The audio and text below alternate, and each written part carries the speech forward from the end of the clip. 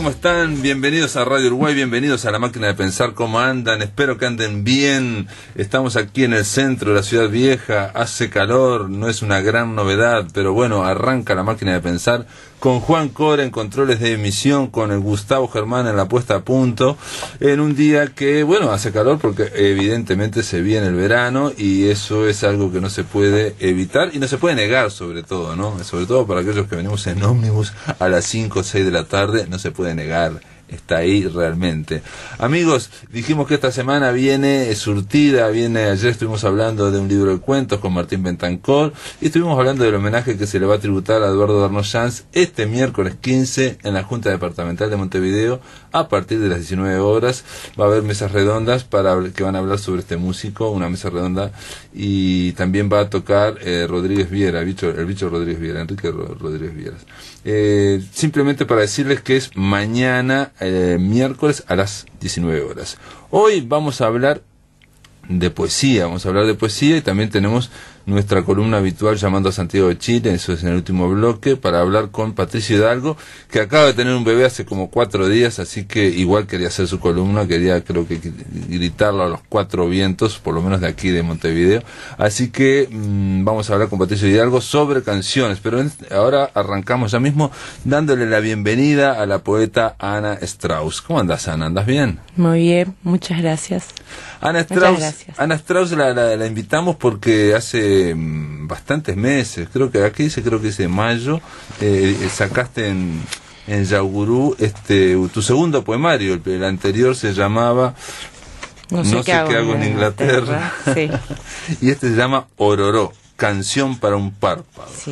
Es un título enigmático y, y, está, digamos, en este Maca, bueno, en el anterior también, en este Maca como que, que le metió, no sé si le metió mano al diseño porque hay... El diseño lo hizo Maca, es, entero... ¿Es de él? Es Maca, sí, sí, pero, sí. Pero viste que en distintos versos van con distintos tamaños de letra. Sí, eso fue algo con, que conversamos Ah. Eh, Pensé que era, lo había escrito así directamente. No, no, no. Ah. no, El diseño, realmente, el diseño interior. eh, es todo de él. Es todo de él. Y su idea de, hacer la el corte. Sí, porque hay tres secciones, y, hay, un corte, eh, una, la, segunda sección está hecha con em, páginas chiquitas, la mitad del, del, tamaño.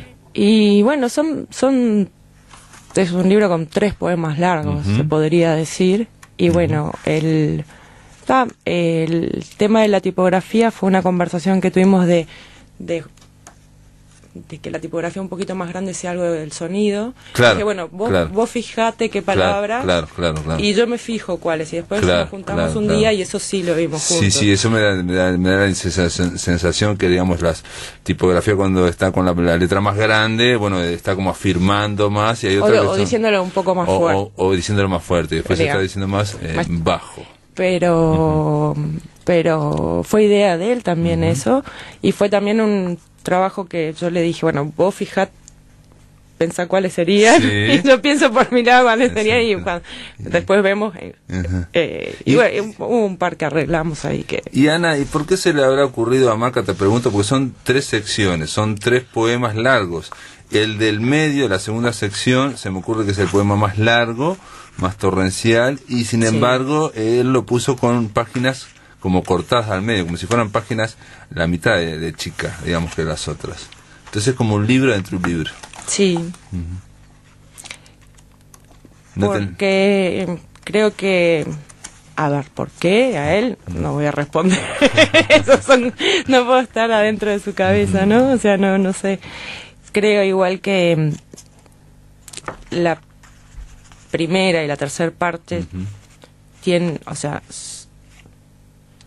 tienen una relación y la del medio puede ser que sea distinta.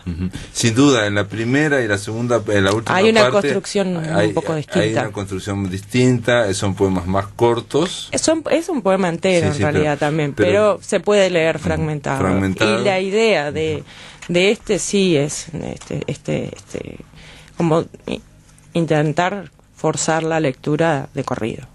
Es eso. No, y aparte del, del medio de la segunda sección, estamos hablando que es mucho más extensa Es en cuanto a sí. palabras, en cuanto a versos, son todos versos Sí, eh, sí. No, no muy largos, pero es el de corrido como si fuera un torrente, es torrencial, es ¿no? eso mismo. Este, en cambio, la primera sección y la tercera eh, están Sí. más espaciados y también como que a veces retoman elementos de, de, de- de la que está en el medio, ¿no? De la segunda sección. Sí, sí, sí, sí.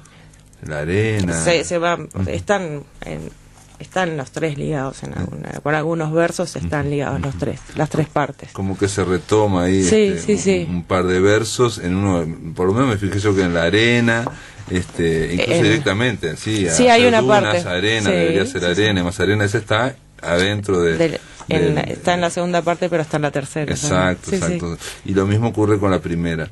Este, Hay algunas. Así es. y, y, y se llama Ororó, que llama la atención, aparte está todo basado en esa O, y bueno, y este, canción para un párpado. Eh, el tema del párpado, digo, parece que una de las señas de, de este libro es, es el mirar, el ojo, este, ¿no? Este, la pupila, el tema de la mirada, una y, una y otra vez se va dando la mirada de los otros. Este, eso después va, va cambiando, ese- va variando ese tema.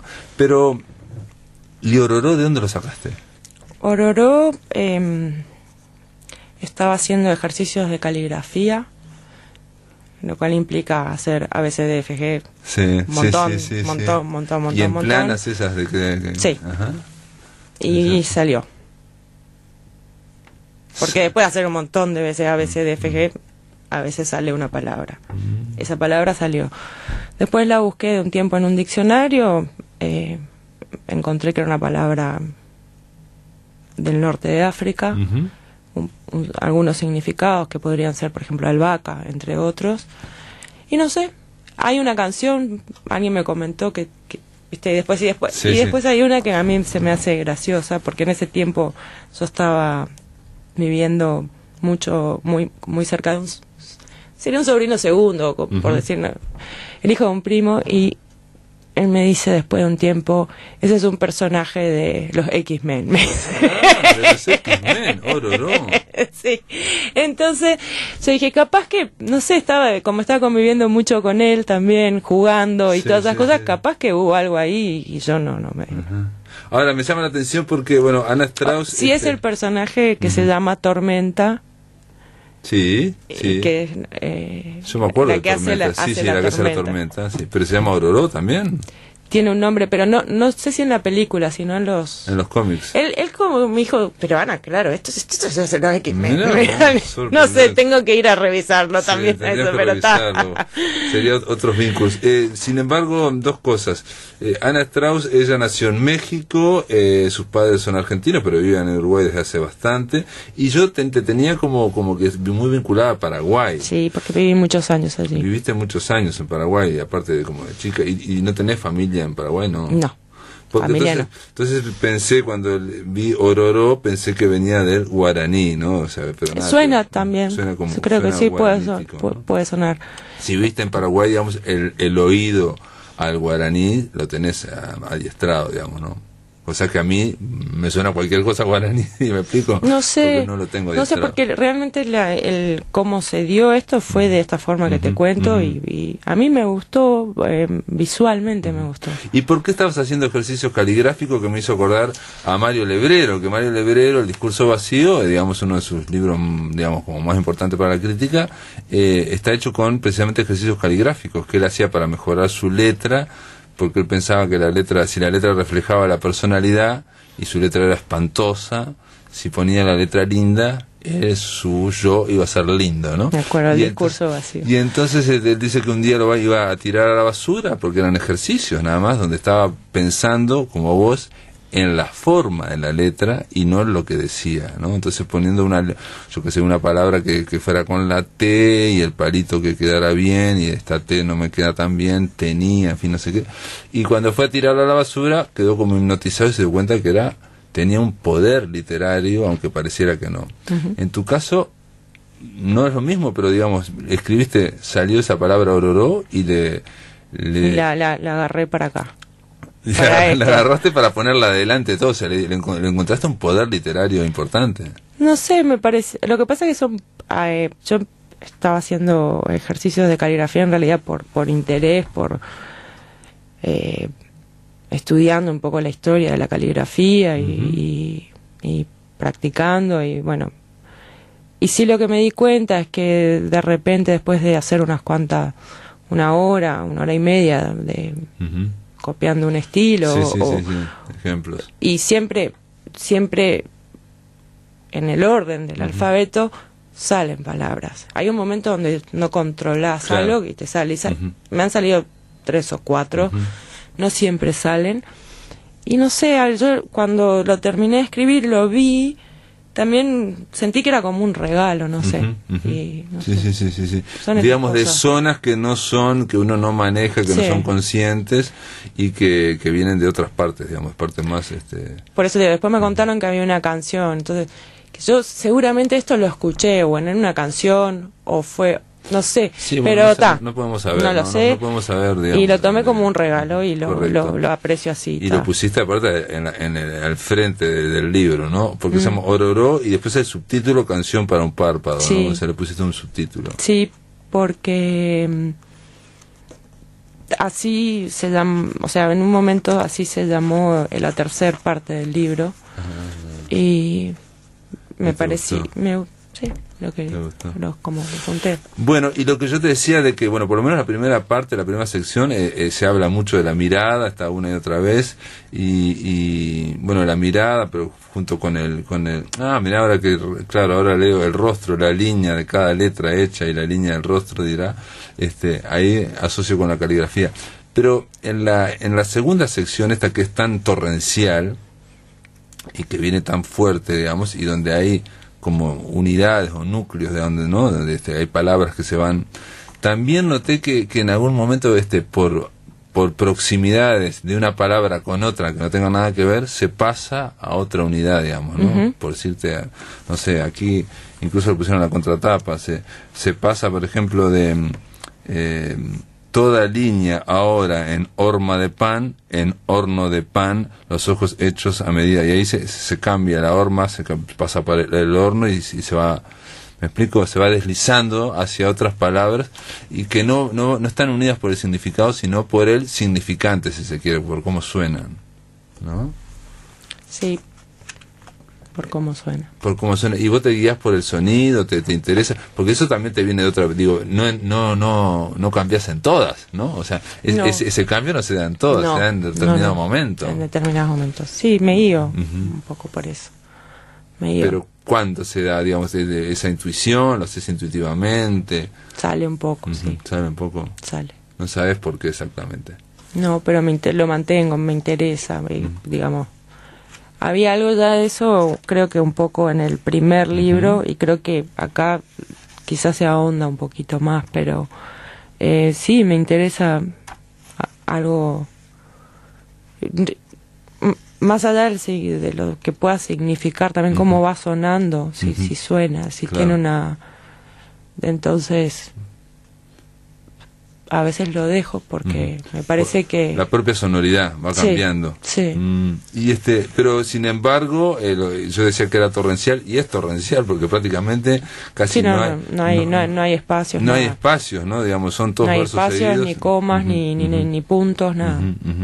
Y tampoco hay mayúsculas. Bueno, sí, solo en un sector en un pequeño. Sector, alimento de peso, nada de sí, yo estoy viéndolo. Sino, este, es todo un, torrente que insisto que sigue eh, ¿sí? determinadas líneas, después vamos a hablar de determinados este, momentos, pero después varía, este, se desliza y cambia, y es como si fuera un río, en un momento llega hasta tu abuela, por ejemplo, ¿no? O sea, se va, va, remontando. A una abuela, sí, sí, a alguna, abuela. alguna abuela podría ser. Sí, sí, sí, sí, bueno, yo creí que era tu abuela. eh, sí, eh, se, se, se, se va, sí, mandando, mandando hasta que está termina. Como Pero igual eso, bueno, lo escribiste de una, sí, o, después hay un trabajo, obviamente, para cambiar, porque digo, está muy fluido, digamos, ¿no? Como los cambios. Em, se fue hay partes que se, se escribieron enteras, Ah, ¿sí? Y hay partes que se fueron uniendo. Uniendo. Pero yo corrijo 500 veces también. O sea, eso también. Para bien o para mal, corrijo mucho.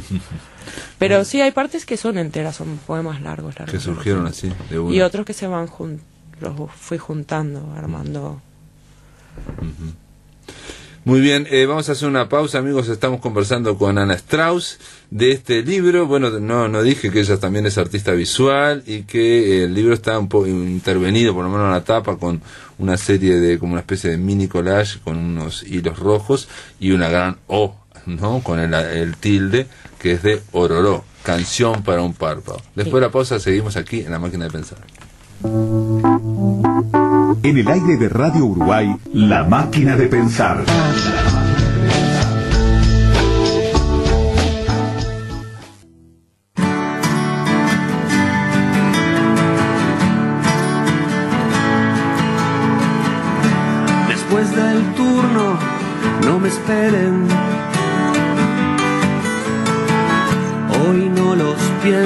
Acompañar. El fin de mes me trae mal. Y este es un viernes especial. Porque esta noche tengo plan. Voy a buscarla cuando salga. Para salir a conversar. Jugado entero a mis palabras. Y suena la música del bar. Canto victoria en la vereda. Puedo arreglar lo que hice mal. Puedo abrir una brecha.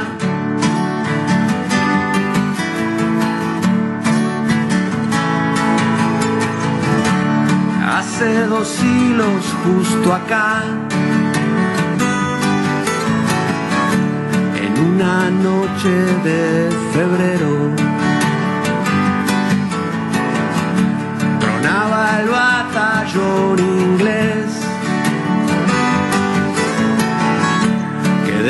La ciudad ardiendo. Brindemos por nosotros dos. y por los muertos en la guerra y por las historias de amor que nacen en la ciudadela.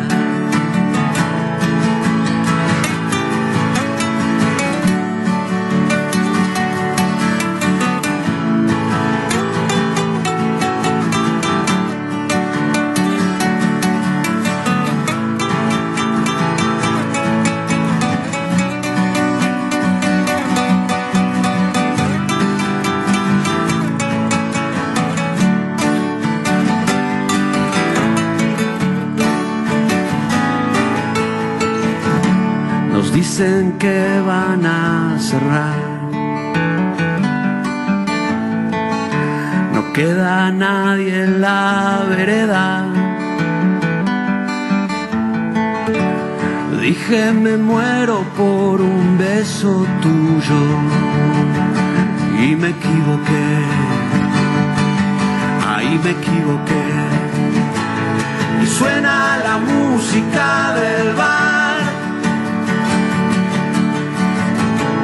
Canto victoria en la vereda.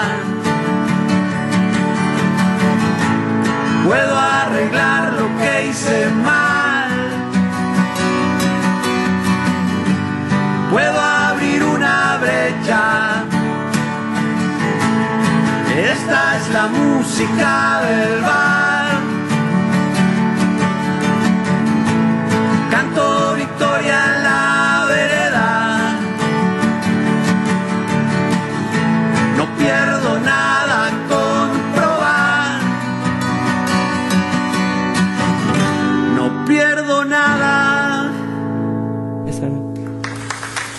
Garo Araquelian nos estaba brindando la música del bar, Garo Araquelian, eh, Diego Presa y em, Denis, eh, Franny Glass integran este disco que se llama, eh, este trío que se llama El Astillero y era su primer disco que nos está acompañando esta semana amigos que se llama Sesiones. Yo ya sé que están en su segundo disco, creo que está a punto de salir o si no, capaz que ya salió, este trío El Astillero, que son como está ocurriendo ahora, ¿no? Cada uno tiene sus proyectos individuales, Diego Presa tiene su proyecto individual, tiene su proyecto colectivo con Buceo Invisible, pero también tiene este trío con Garo Araquelian y eh, Franny Glass. Y en este caso estábamos escuchando a Garo con este tema que es la música del bar. Amigos, estamos en la máquina de pensar, estamos en Radio Uruguay, estamos conversando con Ana Strauss, ella es una artista visual, ella es poeta y acaba de sacar su segundo, bueno, acaba digo yo, no, digo hace unos meses, su segundo libro llamado Ororó, canción para un párpado. Em, parte de tu poética, Ana, este, tiene que ver también como, me da la impresión a veces como con cortes, ¿no? Como de, de, de, algo que va haciendo, se van cortando, que como si fueran instantáneas. Vos hace muchísimo me regalaste como una foto, y que era una especie de foto polaroid, algo así, y también era como una especie de sombra una arena, y este, y tiene que ver como, como, como, como cosas cortadas, como quebradas y, y aparte de como de, de perfiles que, que, se intuyen, que no están, no están claros. Este... Sí, puede ser, sí. Además también por, por, por la forma en que uno trabaja, yo trabajo, que de repente sí, junto, separo, eh, voy como también haciendo un montaje, un collage, un, collage, un montaje de de fragmentos. Y a veces los cortás o surgen así, porque digo, porque parece también como cortado. Hay un detalle que no dije, perdona Ana, es que cada libro de Ororo Canción para un Párpado es diferente la tapa porque tiene una especie de collage que vos hiciste con Maca, se juntaron y cada uno está pegado, digamos, tienen un hilo rojo, en fin, distintos, o el tuyo es azul. Sí, tiene, es un pequeño collage, chiquitito, todos son distintos, salvo el título, que bueno, todo en una unidad, ¿no? Distintos, pero parecidos, pero no, iguales. exactamente, Manteniendo un aire de familia, digamos. no, pero la idea es que, cada, uno es distinto. Sea, diferente. Sí, la tapa es la... Yo te decía que, que hubo un verso a mí que me gustó mucho, pero que e, ese, por ejemplo, este verso está escrito en letra más chiquita. Dice, a veces soy mientras duermo, ¿no? Y estábamos hablando fuera de micrófonos que uno cuando duerme también es, el ser está también, ¿no? Está, o sea, nosotros vivimos en la tercera parte de nuestra vida durmiendo y a veces creemos que nuestra vida es cuando estamos despiertos. O sea, si tenés 30 años, bueno, vos estuviste despierta 20 años y 10 dormida. Y hablas de los 20 años, como que viviste esos 20 años. Y un montón los pasaste durmiendo. Claro, entonces eh, tu verso dice exactamente eso. A veces soy mientras duermo, ¿no? Es eso, sí, así es. Pero sí, los eh, hay un hay hay veces que escribo eh, algo que es más corto, a veces algo que es más largo y los quiebres también son por por necesidad de de, de, separar, de, dar otra otro espacio, otro aire también no es por ese, no, no, no, no buscas esa, esa cuestión de montaje, de edición, de, de, algo medio cortado, no, no, no, no, es, no es tu idea, digamos. ¿No? Vos decís de cortarlo. Pedí algo de olvido, Roró, una imagen que borre otra y dijera de nuevo, acaso, amar. Eso sí, eso sí, eso. Vos decís por lo, el, corte de los versos. Un corte, un corte muy, muy, muy, así estrecho de los versos. Sí, eso sí. sí, eso sí. En algunos casos sí, es, es, buscado y en otros no. Hay, hay versos mucho más largos. Sí, sí, sí, es cierto también, es cierto. Eso sí. Y, y yo te hablaba de este verso que me gustó tanto que se llama bueno, que a veces soy mientras duermo, y el libro comienza y termina de la misma manera, ¿no? empieza con el sueño, comienza o termina, vamos a decirlo, el sueño más sagrado, cenizas, el sueño más sagrado, hicieron cenizas al sueño más sagrado. ¿Qué sueño sería ese? Oh, qué pregunta te hice. Casi nada lo de loco. No, yo te explico que, que está bueno. A mí me gusta separar los versos. Sí, eso te, eso te gusta más explicarlo, ¿no? Cómo se separan los versos. Es, sí, sí. Hicieron ceniza al sueño más sagrado. ¿Querés leer eh, este, tu libro? A ver, hace referencia a algo. eh, cada uno tendrá la suya a cualquier tragedia. Correcto. Cada uno en. Me imagino que en distintas partes del globo cada uno tendrá alguna tragedia a la que. Ujú. Que hicieron ceniza. Claro. a, a algo que se hizo cenizas, entonces o alguna tragedia. Una- una tragedia. Y el sueño Sí. más sagrado, ¿no? Hay, hay también como un, bueno, un por algo de lo humano. Ujú. Eso. del humano y te pregunto, ¿y de lo divino, no? No. No. Y en este caso de querés, por ejemplo, empieza diciendo mi mujer, yo, esa, esa mi mujer, entre mis dátiles, te pediría canela, tejer mi cloro- clorofila. Em, Hay un pedido, sí. hay un pedido y aparte Sí. me gustó que los dátiles, el tema de los dátiles como dedos también, ¿no? También, No, o sea, ando- también. Sí, también. Y hay un cierto pedido, sí, una, hay alguna, creo por lo menos, velado, una, una especie de rezo, pero un rezo no a... no a un, a, un, a un dios o una entidad superior. Y, y, y en la primera página dice vaso con B larga y con doble S, como si fuera vaso continuo. Ahora horadando el vino. Te lo, te lo, te lo, te lo marco o te lo señalo porque eh, yo pensé en vaso, que, que, que fue, podía ser un apellido, no la verdad que no sé, pero no usas en el resto del libro, ni me fijé, ni locaciones, ni lugares, nunca se habla de un lugar, digo, nombres, me refiero geográficos, No. ni de países, ni de No. apellidos tampoco, ¿no? No, no, no. Solamente acá. No, pero ¿Qué no es eso. Eso es una anotación musical, porque en realidad trata de ser una especie de decirte que es un strip, un, algo que ir- iría por debajo, o sea, iría a la misma... A quiere decir bajo en italiano, digamos, es una cuestión mu- musical. Es una Ah. anotación musical de, Ah. de partitura. Entonces, iría, como va, en la primera parte corre, y se puede leer o solo esa abajo o arriba y Correcto. abajo. Sí, sí, está claro, sí, sí, Es sí. como- Eh, De, de la forma que está diseñado, digamos, no es que pertenece De la mismo- forma en que está escrito. Está escrito, ajá. Está, eso, eso, eso, eso no es diseño, eso, eso es, es parte de, de, de cuando lo escribí, de cómo lo construí, escribiéndolo. No es, no es por diseño. Ah, no es por diseño. Y no. No. es el mismo poema, digamos. Puede ser el mismo poema como puede ser. Se no. puede leer eh, separado o se puede leer junto con la primera. O sea. Muy bien. ¿Querés leernos algo o- o- sí, no tengo problema. Dale. Por ejemplo, no sé, eh, en la página 57, a ver, o, o la que quieras vos. Yo porque veo acá que cuando cierro las pupilas...